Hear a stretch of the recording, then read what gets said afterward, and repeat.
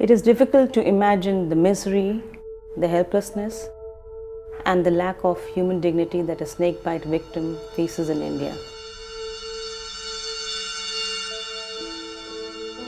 There's no reason why anyone should die of snake bites in today's day and time. After all, snakebite is a treatable disease. And yet, more than 50,000 people die annually in India from snake bites, and five times more people suffer morbidity. Such high numbers is simply because we do not have the situation under control. We need to look at this situation with empathy and realize that it could have been you or me. And the only thing that separates us from them is our luck.